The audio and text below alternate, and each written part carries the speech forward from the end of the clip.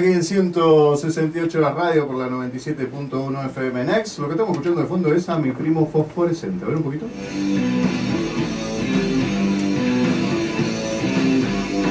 Pero mejor que escucharlos grabados, tenerlos aquí en vivo, ¿no? Si ya están acá, ¿para qué vamos a, a esperar?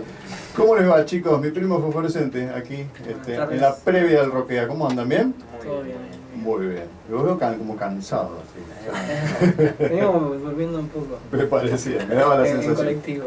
Bueno, Nicolás Pagliaroli, ¿quién es? me, me volví loco. Yo. Vos sos Nico, muy bien. Nacho Tartusi, Acá, ahí otra guitarra. presente.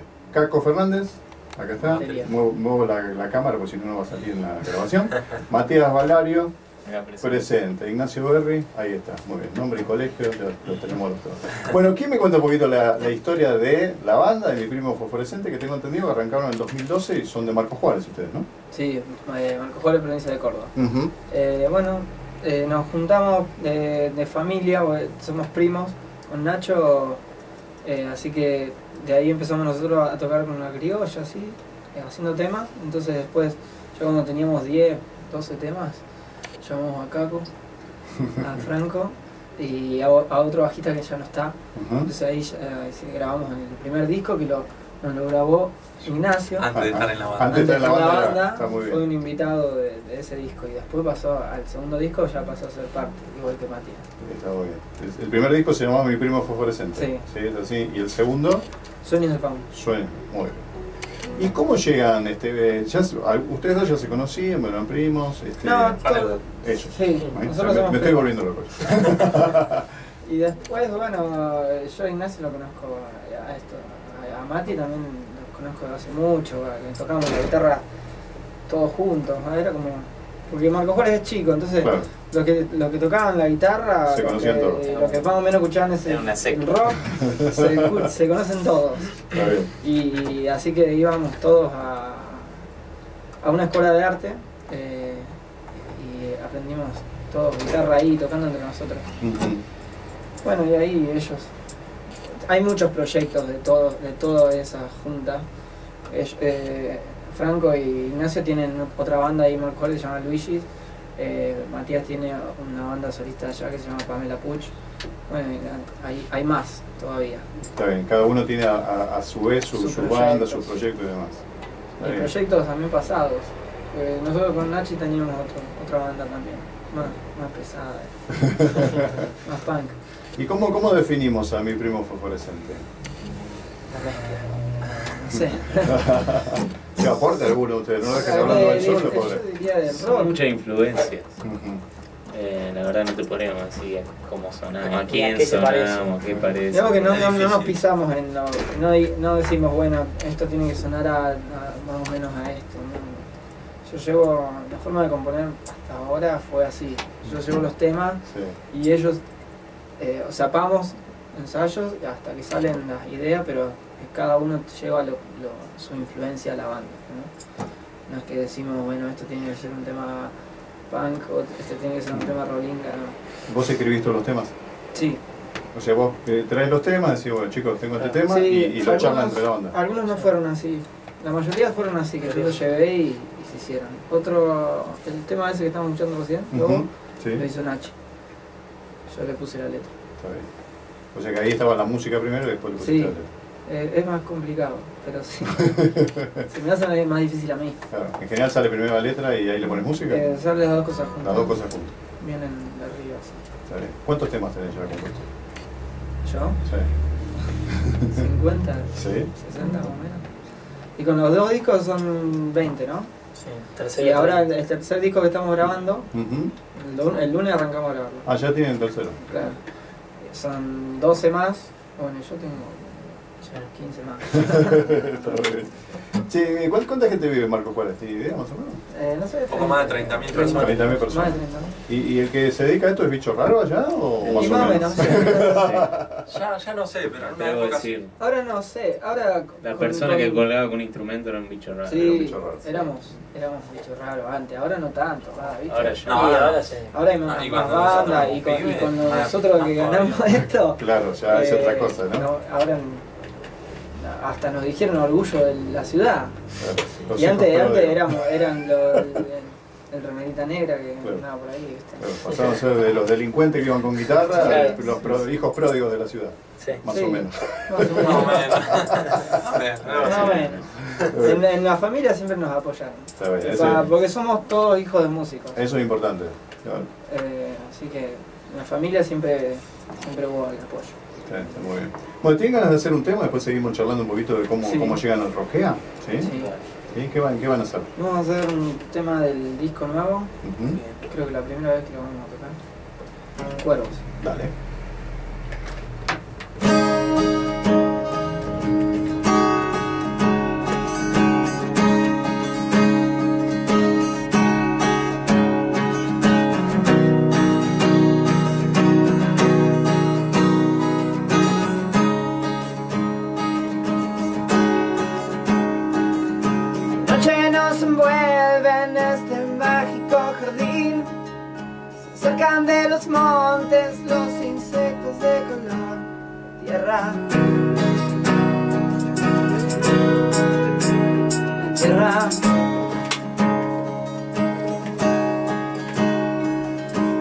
Y las causas que se pierden al dormir.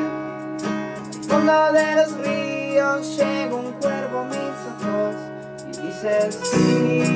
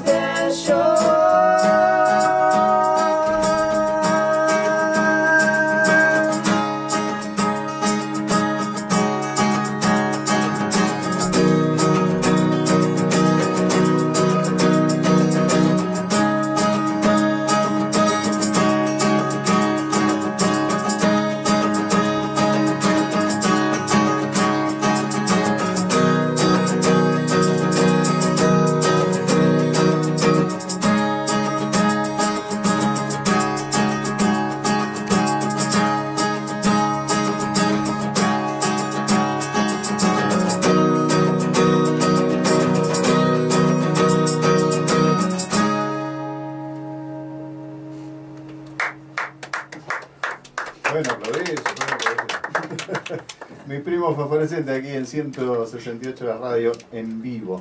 Bueno, ustedes vienen tocando bastante, ¿no? Vienen este, haciendo muchos shows y demás.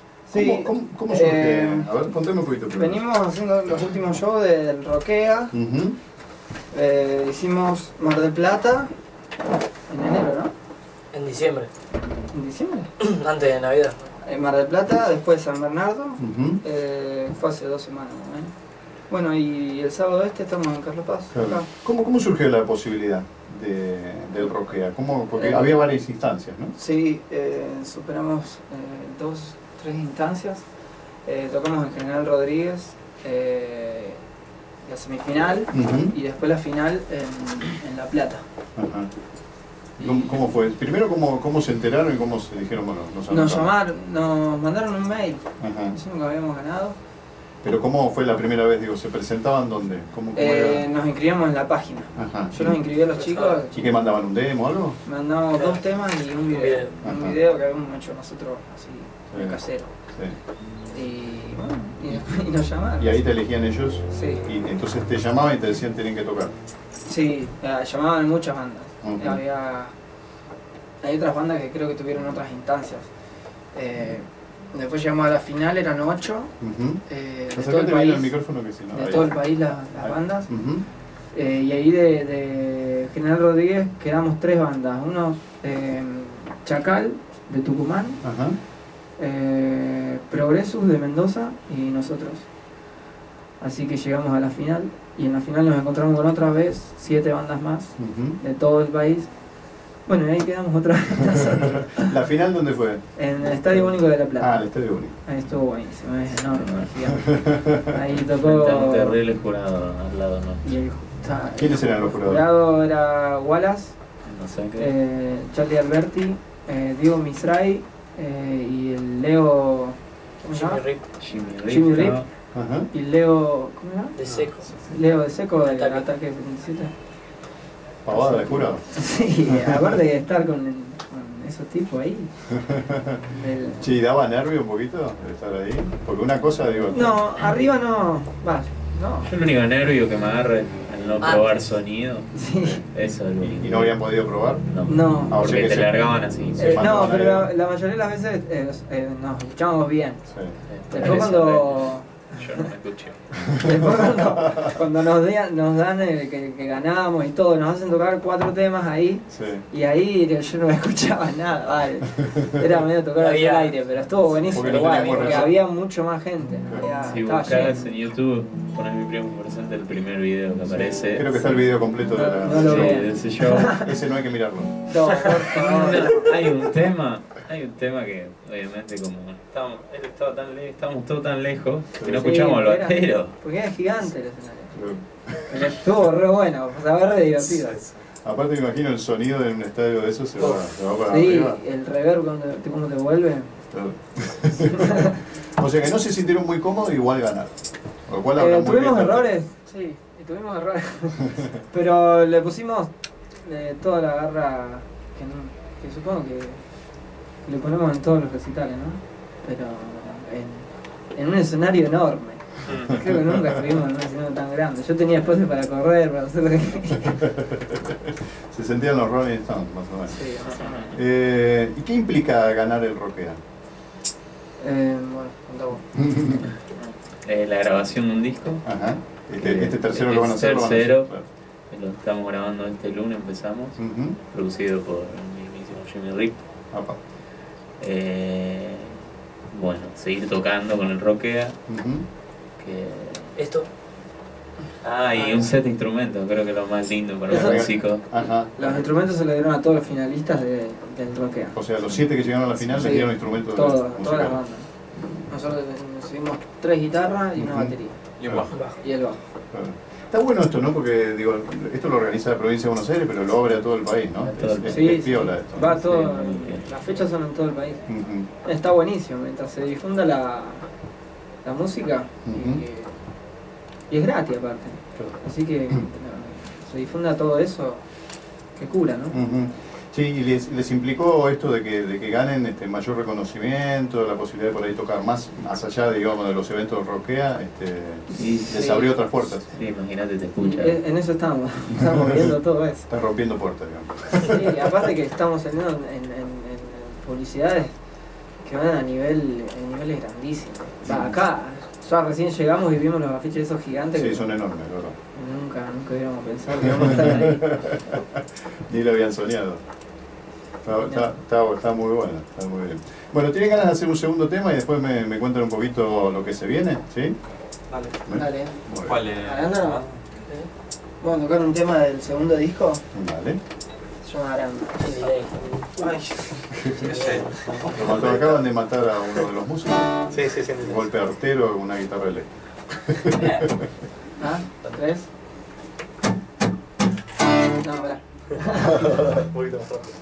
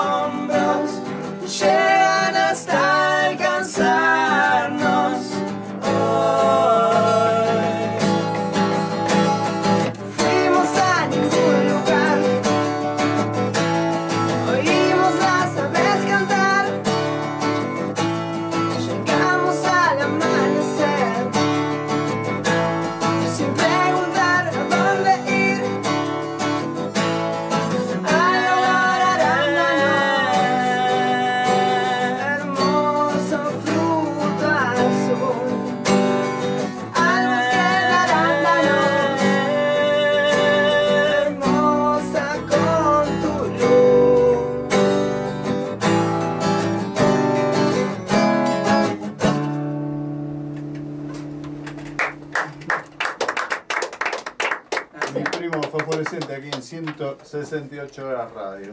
Eh, bueno, ahora se viene el evento este. Vamos a leer un poquito la gacetilla que acaba de llegar. No, en realidad no la tiene nadie todavía, la mandaron nosotros. Bueno, concurso nacional de bandas Roquea Buenos Aires, provincia, desplegará el próximo sábado 21 en Villa Carlos Paz una edición solidaria a beneficio de los damnificados por el temporal que azotó la provincia de Córdoba. Esto arranca a las 17 horas en el playón municipal y se recibirán alimentos no perecederos, artículos de limpieza, ropas, frazadas y colchones. ¿eh? Eh, esta iniciativa forma parte del programa de responsabilidad empresaria del Grupo Provincia y tiene por objeto acompañar la política de gobierno este, en el área de la juventud, en el caso de, obviamente, Daniel Scioli. Va a estar este, estos chicos que tenemos aquí con nosotros, mi primo fosforescente, Zulu Hip Hop Jam, que es la banda ganadora del 2013, Sí. si mal no recuerdo. Van a estar la banda de turistas y Sierra Tambiónica, ¿eh? en el playón del Polideportivo, en la costanera, ahí donde se hacen habitualmente los, los conciertos. Este, todo con entrada libre y gratuita. El sábado arranca todo a las eh, 17 horas. Hay show también. Eso de- iba a decir, ¿no? Yo hay de demos de motocross, bike, skate y los cascos naranjas extremos. ¿Me estoy olvidando algo? No, Muy bien. Y van a estar estos chicos. eso. Eh, ¿Qué sienten de, de- de tocar en este evento? ¿Ya, cuál- ¿Qué va a ser? ¿La tercera vez que tocan? cuarta. Cuarta vez. la tercera grande. Va, El de Mar del Plata era el camión. Porque Claro, también anda el camión que está acá. claro. Sí, Está sí, acá. sí, sí, sí. Que sirve para que las bandas Toquen eh, ahí en vivo. Las sí, bandas- bandas locales. Locales. Eso está buenísimo. Claro. Se estaciona el camión, se abre. Y que se roban el sonido. Nosotros tocamos ahí en la, en la primera instancia que tocamos el General Rodríguez. Tocamos en el camión y sonaba re bien. Sí, yo he visto hace un par de años en la costa, este, es fantástico ¿no? Porque el Sí, camión sí. abren todo y Sí, tenés sí. un recital ahí en dos minutos. bueno. Está fantástico, la verdad, la verdad que sí. Eh, ¿Les gusta Tambiónica a ustedes? No, no escuchamos. la verdad que no lo escuché. Se escuchaba antes. Me acuerdo que lo fuimos a ver salió. una vez. Sí, Porque fueron a un boliche ahí en Marco Juárez. ajá. Y a banda de turistas, sí. Eh, Con Nachi viajamos una vez a Rosario, Para verlo. que estaba, está ahí cerca de. Rosario. Y también viajé a Villa María a verlos. Sí. Sí, que se acerquen nosotros de la banda. Vayan pasando. Preséntese y hablen también. Sí, sí. Preséntense. El otro está, el otro está con la, Estaba mandando Facebook, no sé qué está haciendo. bueno, diga su, su nombre, señor. Nacho, ¿Cómo le va? Bueno, ¿qué, ¿qué sentís con todo esto? Bien, o sea, buenísimo. Inesperado, principalmente. Y algo soñado, se podría decir también. Porque siempre, siempre tuvimos desde que empezó la banda como la... Eh, ¿Cómo se te podría decir? El, el sueño que, de llegar a esto, pero que, que, po- que podíamos hacerlo con esta banda. sí. Algo, algo muy La esperanza, utópico, digamos. Siempre tu- tuvimos. No sabíamos que se iba a dar de esta forma tan rápido, digamos. Que en menos de, seis meses estemos tocando para 30.000 personas Es fantástico. y antes estábamos tocando para 50. Lo genial también es viajar. eh, de estar de un. Claro. eh, la última, hace dos semanas estábamos tocando en el mar y hoy estamos en la montaña Claro. y, y aparte en la sierra que está bueno. ¿Todo eso lo, lo banca Roquea o lo tienen que, que Sí. pagar? ¿Sí? Sí, hasta ahora. Sí, lo bueno del año es eso, que Roquea, como se hace esta edición en Carlos Paz, se va a hacer en Mendoza, Claro. Bariloche, que van a girar por el Tucumán, país. entonces vamos a conocer. Sí, eso está buenísimo. Nosotros que no conocemos, Está bueno. es buenísimo. Está muy bien. Bueno, señor. Yo, Ignacio, otro Nacho y guitarrista también. Bueno, ¿y qué sentís con todo esto? Nada, la verdad que eh, un músico tocando siente la misma felicidad que un futbolista futboleando. Está muy bien. Pero a veces pasa, yo digo, yo charlo mucho con los músicos, ¿no? A veces pasa esto de que eh, se aprovechan de que al músico le encanta tocar. Y, y es una profesión esto también. Siempre. Ah, sí, sí, sí. Hay que respetar. ¿no? Sí, por suerte, eh, no, con este concurso, digamos, no- nos está yendo. Digamos, no, no, sé, no se nos están aprovechando. no, está bueno. estamos aprovechando nosotros. Está bueno, está bueno. Pero digo, viste que pasa esto. ¿no? Sí, sí, que, sí, sí, Eh, sí. a vos te gusta Sí. tocar, vení tocar. Vení, vendeme Eh, 50 eso pasa en entradas, todo, 500 ¿no? pesos. Sí, claro. Pasa en todo, en, la, en lo, lo Rosario, artista Rosario. plástico también. Claro, Te dicen, pintame un mural acá, sí, sí, sí. porque, porque, para, Porque a vos te gusta. Porque a vos te gusta o para Claro. promocionarte vos misma, nada. Y, y le pasa esto que le dicen, ah, qué lindo, ¿y de qué viven? ¿O, qué, o de qué trabajan? Claro, después te preguntan eso. Claro. ¿De de qué viven? No lo ven como. No lo ven como un trabajo. Y es un laburo. Una forma de vida tampoco. Claro, seguro que sí. Bueno, falta el, el, el, el quinto, el, El quinto. Beatle. Eh, Franco. ¿Y vos qué, qué Soy el sentís? baterista. ¿Y con- qué, qué te pasó con todo eso? ¿Qué sé yo? Es, es muy distinto. Que dejar la escuela.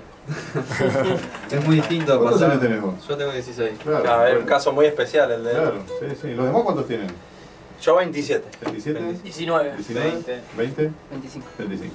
Soy más el chiquito. pendejo del grupo. Claro. ¿Y?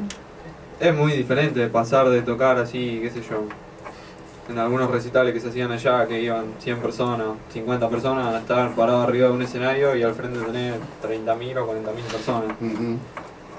Es algo totalmente diferente y está buenísimo. Pero qué sé yo. No que no le erra nunca. No, no, y la lleva bien con 16 años. Sí, la lleva bien. No ¿Y, tiene- y la- y tu familia qué dice? ¿Y mi familia no? ¿Te apoya? ¿Está Sí, todo bien? sí, sí, sí, totalmente. ¿O te dicen, no, vamos a salir con esto? Nada, no. No, el padre, Cuatro de general. El padre baterista. el padre baterista.